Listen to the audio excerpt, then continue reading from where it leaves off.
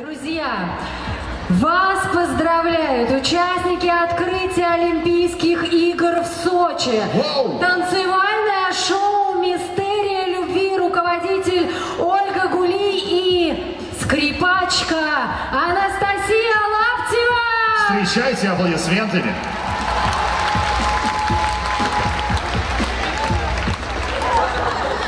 Ребята, вас не слышно?